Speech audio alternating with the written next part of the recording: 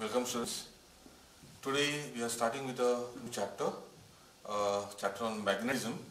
So it is a chapter from unit 2 and overall it's the third chapter in the syllabus. So in this uh, chapter we'll be studying about the different types of magnetic materials.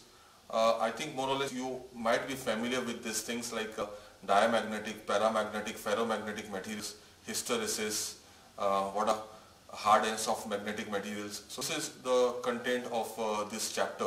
So it's a relatively easy chapter and uh, we'll be finishing it also very soon. So in the beginning of this chapter we'll be studying about some few terms and definitions.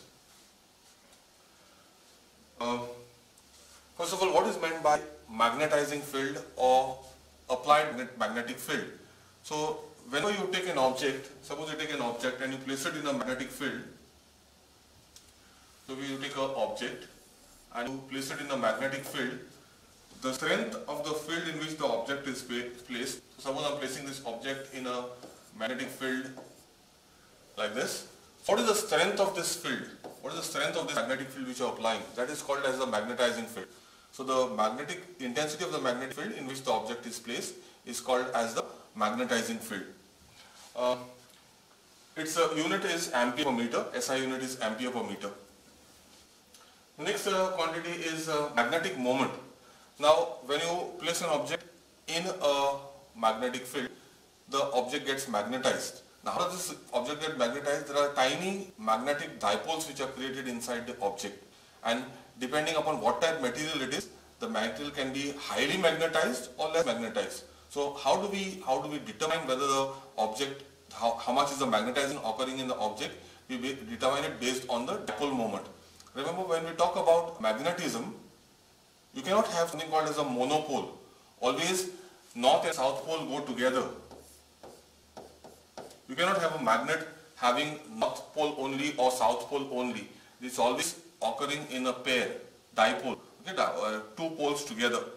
In electric charges is not like that. Electricity, you can have positive electric charge and a negative electric charge separate.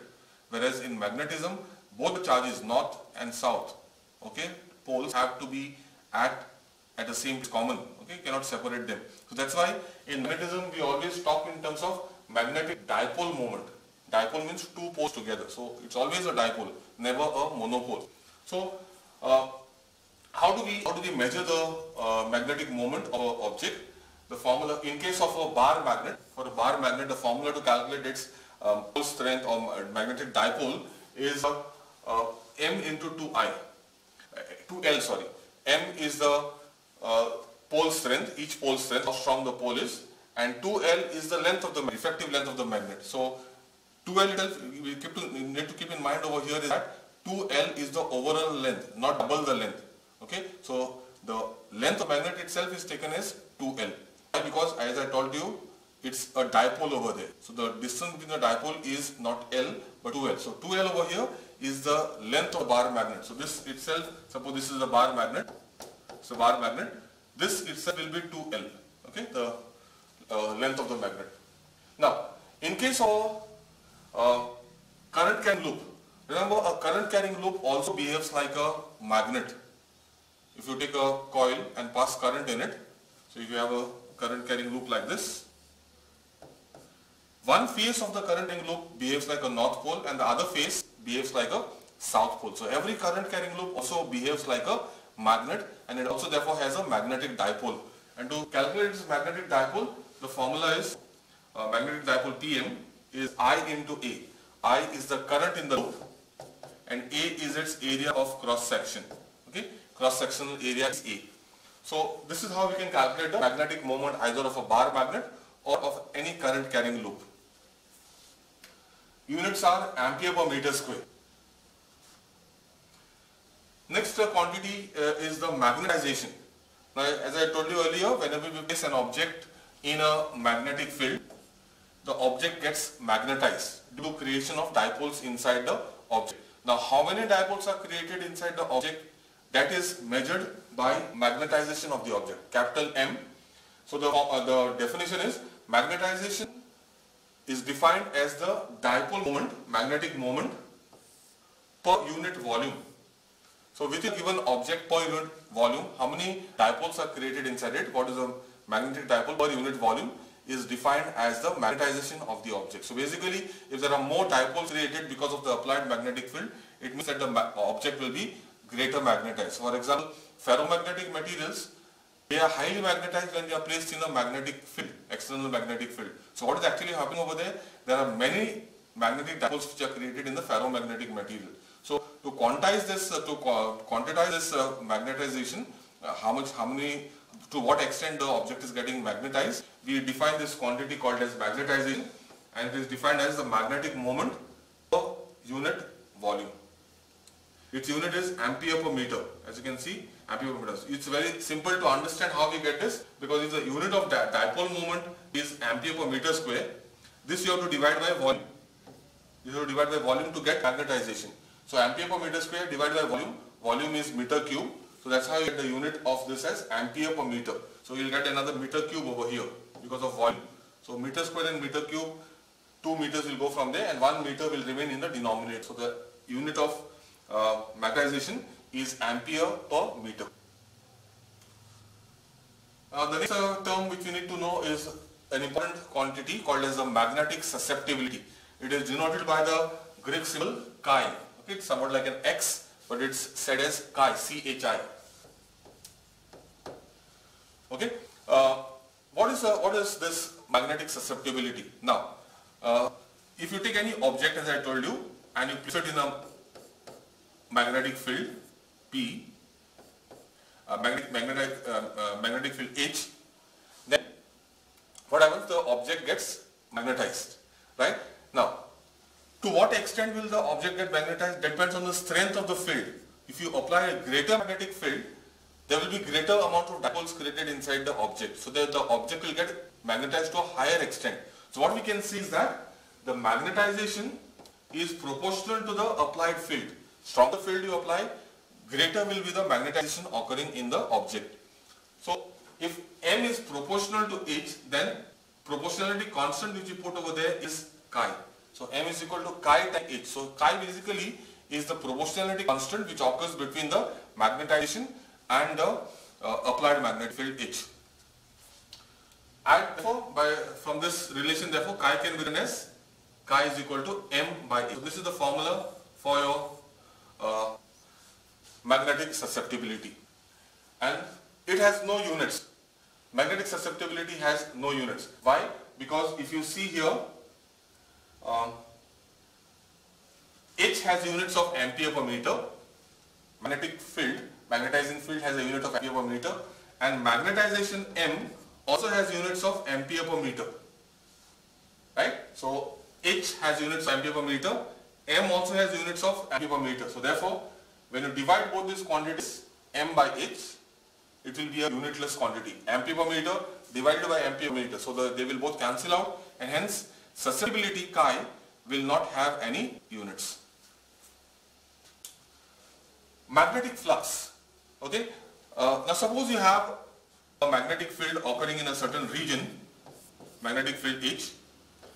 Now if I take an, any area, any cross-sectional area, now how many lines of force, how many magnetic lines of force are passing through this given area A, that number of magnetic lines of force passing through that area is called as the magnetic flux and is denoted by the symbol phi. Okay, so total number of magnetic lines of force passing through a given area is called as magnetic flux through that area. So if you have a greater area, if you consider a bigger area, the magnetic flux will be more. So magnetic flux phi is area dependent. Greater the area you consider, the flux also will be more. So, and its unit is Weber. SI unit of magnetic flux is Weber. Now, more important thing for us, other than magnetic flux, is what is called as a magnetic flux density or it's also called as the magnetic induction. So magnetic flux density and magnetic induction both mean the same thing and they are denoted by the symbol B. So please make a note of this. Magnetic field, magnetizing field which is in which they place the object, it is denoted by the symbol H. So the magnetic field which you are applying to the object is H whereas the magnetic flux density is called as the mag, uh, is denoted by the symbol capital B. Okay, so many times we confuse between magnetic field as B. Magnetic field is actually H, whereas magnetic induction or magnetic flux density is denoted by the symbol B. So what is magnetic flux density? Magnetic flux density B is the magnetic flux per unit area. So this is the definition of uh, magnetic induction or magnetic flux density. B is equal to phi upon E. So where, what is phi? Phi is the magnetic flux. So referring back to the same figure here, uh, so how many lines of force are passing through this area? So let's say three lines of force are passing and let us say the area of this let us say 1 meter square. So then 3 divided by 1 meter square. So that will be your magnetic induction B, capital B. So number of uh, magnetic flux per unit area is defined as the uh, uh, magnetic induction and its SI unit is Weber per meter square. Why? Because magnetic flux is Weber, magnetic induction B is flux upon area. So Weber divided by meter square. And it's given a special name Tesla. Okay. So magnetic induction or magnetic flux density SI units are Weber per meter square or Tesla. Now sometimes so Tesla is a SI unit, Weber meter square is an SI unit. But many times we also have to deal with uh, uh, magnetic fields, uh, magnetic fluxes and all, induction and all in SI, CGS units. So in CGS unit, the unit of uh, magnetic flux density, uh, magnetic induction is Gauss, denoted by this symbol capital G. And they are both related. Tesla and Gauss are related by this relation. 1 Tesla is equal to 10,000 Gauss. Okay, so Tesla is a bigger unit of magnetic, magnetic flux density. Gauss is a smaller unit, CGS unit. And they are both related by this uh, formula. So please keep in mind this uh, might be useful for problems and all, especially for converting from uh, CS or uh, to SI or SI to CS system. Now, so these were some few terms and definitions which we have studied. Now we are going to see uh, briefly a relation between the magnetic induction B and the magnetizing field H. They are both related because what what is what is this magnetic induction is basically basically created because the applied field. So what creates the magnetic flux and all? It's because of the applied field. If there was no applied field, the material would have not been magnetized. There would have been no magnetic lines of force. So uh, magnetic induction would have been zero. So magnetic induction is created because of the magnetic field. So therefore they are both related. Okay, we are going to see what is the relation connecting them both. Uh, so when we keep a material in a magnetic field, two types of fluxes appear. Two types of magnetic induction are there over in the in the in this in this region. So we have an object and we are placing this object in a magnetic field H. Now if you see in this region here, in this region, there are two magnetic flux densities which will be which will be arising. One are the magnetic lines which are arising because of the applied field itself, and secondly, because of the applied field inside this object, there will be some magnetic dipoles created. There will be magnetization occurring inside the object, because of which additional magnetic line of force will be created. Now, if this if this object was not there, suppose it was air, then there would have been no magnetization created, and the only magnetic lines of force would have been the applied field which is there in that region. But because the, it's a solid object which is placed over there, the object itself gets magnetized and because of the magnetization of the object, additional magnetic flux is created. So the total flux in this region therefore, the total flux in this region is a contribution from the applied field H plus magnetization of the object which is occurring because of the applied field. So we can therefore write that magnetic induction B will have a contribution from two things, it's, it's written over here. One is due to uh, applied magnetizing field which is H itself and the second one is a consequence of the magnetization M. Okay, so therefore B the mag total magnetic induction can be written as H plus M. H plus M. And there is a constant which is there over here, it is called mu 0. Mu 0 is called as the uh, permeability of, of free space.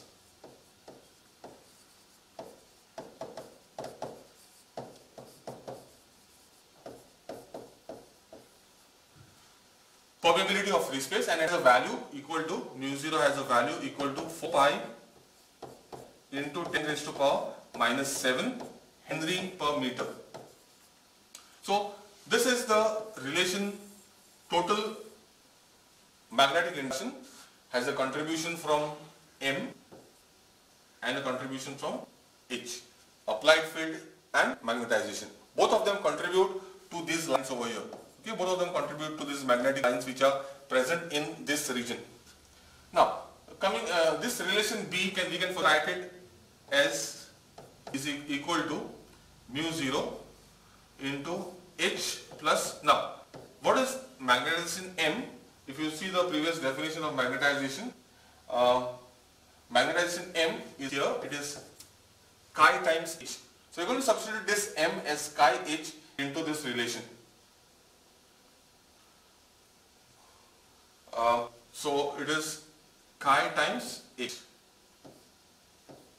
So what you see is what is in this bracket H is common. So I can write this as equal to mu 0 H into 1 plus chi. Now this 1 plus chi is called as the relative permeability. So I can write this as mu 0 into mu r into h. Now what is this mu r? Where mu r is equal to 1 plus chi. 1 plus magnetic susceptibility is equal to what is called as mu r and this is called as the relative permeability.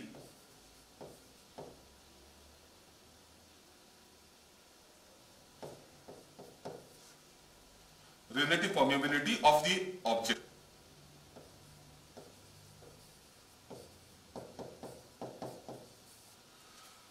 So, this is an important formula which we might require in certain problems. So, uh, B is equal to mu 0 mu r h where mu r is 1 plus chi and hence this I can further write it as equal to just mu times h where mu is called as the absolute permeability.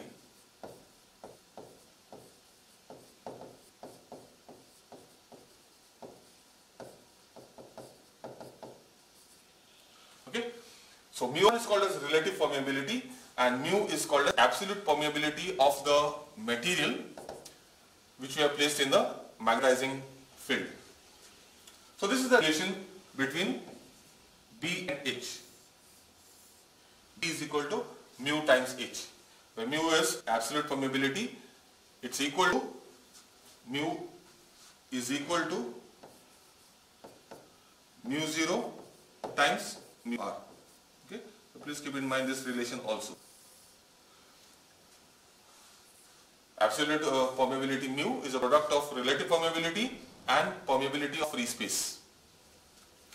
So this is a small derivation line which uh, shows the relation between uh, magnetic induction B and magnetizing field H. So they are basically both proportional to each other. Okay, so what we can understand from this is that the greater uh, magnetic field apply, greater will be the magnetic induction created. Now, uh, that was some basic uh, definitions uh, related to this uh, topic of magnetization. Now we move on to the different types of uh, materials and before that we are going to see what gives rise to magnetization in an object, in a solid object. For example, suppose you place a solid object in a magnetic field, what is basically happening inside it? What is basically giving rise to the magnetization? Now, we know that all materials are made up of atoms. Okay? All materials are made up of atoms. And every atom, you see in this picture here, every atom has a nucleus in the center, positively charged nucleus in the center, and the electron going around the nucleus in a circular orbit. Now, the electron is a charged particle and as it is going around in a circle, it basically represents a charge moving in a circular loop. Okay? The electron basically represents a charge going around a circle. So it creates a circular loop. And remember, every circular current carrying loop, charge moving in a loop is like a current in a loop. Current carrying loop behaves like a magnet. So every atom, therefore, with the electron going around it, behaves like a tiny magnet. Second thing, this electron itself is spinning around its own orbit, okay, you know, around its own axis. The electron is spinning around itself. So the spinning electron also contributes a tiny current loop. Again, so there will be a contribution from the electron going around the nucleus in a circular orbit. That's what is called as the orbital motion of the electron. So the total magnetic dipole inside a body arises because of the atom and in the atom what is there? Are three things, there are three types of motions or three uh, uh, quantities there which give rise to its magnetic dipole moment. First one is the motion of the electron around the nucleus. This is the rather the biggest contribution because the circle is max, bigger, largest over there. Second contribution is the spin of the electron. Electron spin. The electron revolves around itself, around its own axis. So that also like a tiny current carrying loop. So it also produces a tiny magnetic dipole there. And the third is the nucleus. The nucleus also spins around itself. But this spinning of the nucleus is very, contribution is very small because the nucleus is heavy. Compared to the electron, the nucleus spins very relatively quite slow.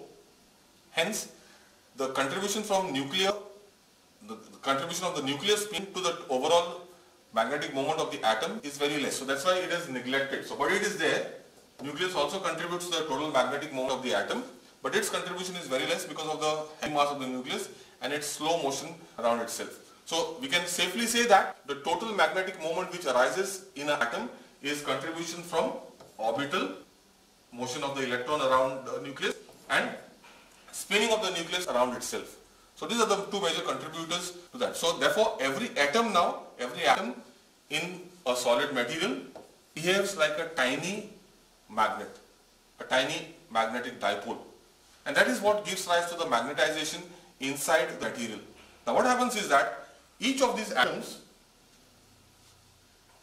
as you can see this figure here, in the absence of a magnetic field, each of these, now what I shown over, this is one atom, this is another atom, this is another atom. So all these atoms there. Each of the atoms, if you see the arrows, arrows inside them, they are in different directions. So in the absence of the magnetic field, every atom is pointing in a different direction. The magnetic moment of every atom is in different directions. So overall, when you see a resultant of this everything, when you combine all these different directions, it's almost like there is no net direction. It, all the directions, they cancel out each other and there is no net magnetization produced inside the middle. But even though every atom is a magnet there, every atom behaves like a magnet, but every magnet is pointing in a different direction. So the overall magnetization is zero.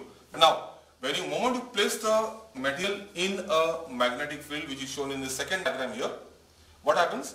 These atomic magnets, each of the atomic dipoles, try tend to align themselves in the direction of the applied field. So if we have, we have applied a magnetic field in this direction, you can see this figure here, all the individual atoms inside the material tend to align in that direction and now the result of this everything is that there is a net magnetization produced in the material.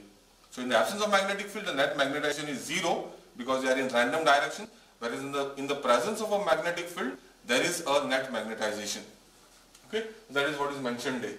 In the absence of magnetic field, different atomic dipoles align in different directions and then net magnetic moment is zero.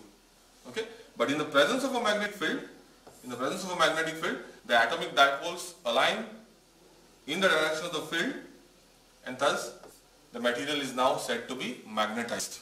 So this is what is the basic thing happening inside a material when you place it in the magnetic field. So this is the origin is basically we can trace it down right down to an atom.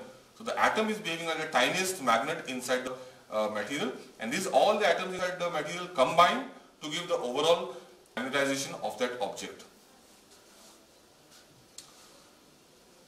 Uh, we classify magnetic materials into three categories based on how they behave in an applied magnetic field, in an external magnetic field. Based on how they behave, we classify materials into three types, okay? Paramagnetic, diamagnetic, paramagnetic and ferromagnetic. So, uh, this uh, details we studying in the next class.